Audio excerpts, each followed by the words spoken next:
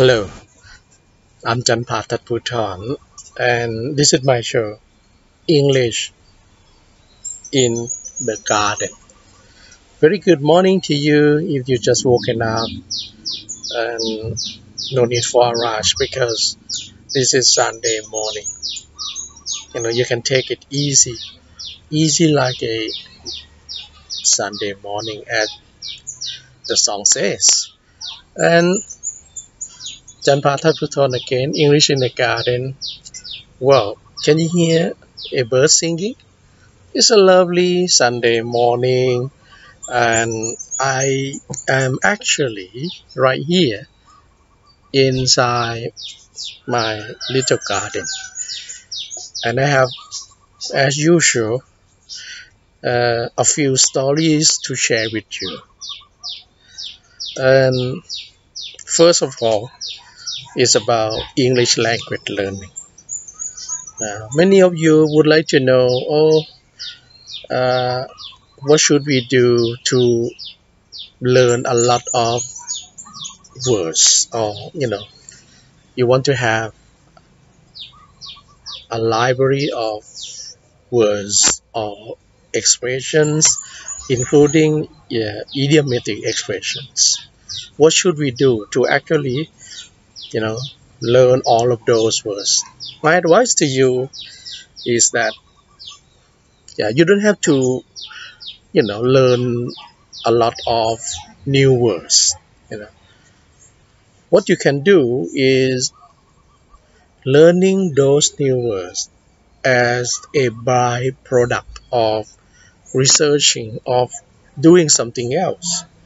I mean when you learn a new word, you should not learn it out of the context. You need to, you know, learn it within the context. For example, the word breeds, breeds. You know, you should learn it from 40 breeds of uh, cats, like the Persian is the name of the breed, Persian cat, a Siamese cat, or Cashmere cat, you know Scottish cats for example. So there are many different types of cat breeds and you learn this through the context. And so my advice to you if you want to learn new vocabulary items is to learn it in the context.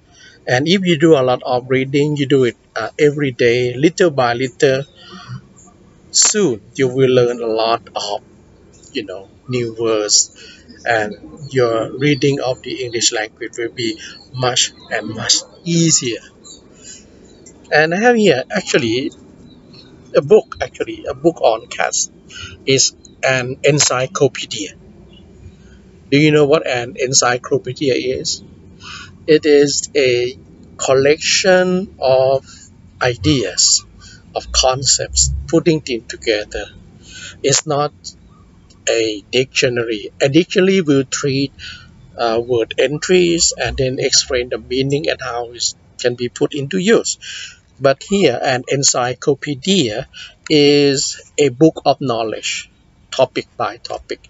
And this book has over 200, 200 illustrations, you know, many of which many of which are actually in colors, really beautiful and it has uh, the histories, the interesting anecdotes or stories about cats. As you can see here, one of the breeds famous around the world is the Siamese cat.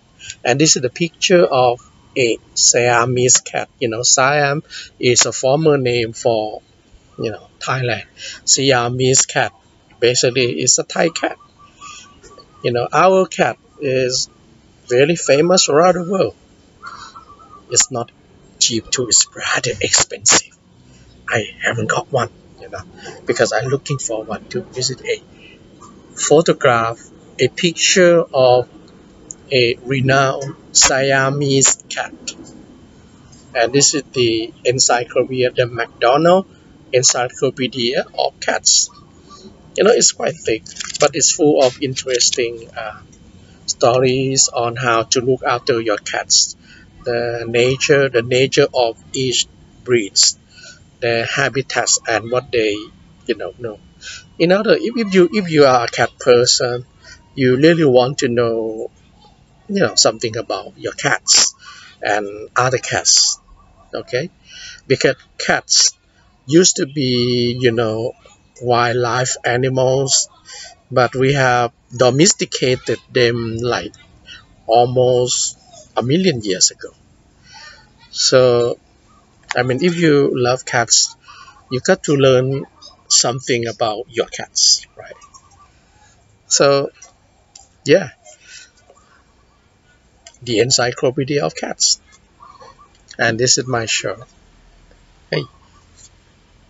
Yes, of course, English in the garden. I'm in my garden. Thank you for watching.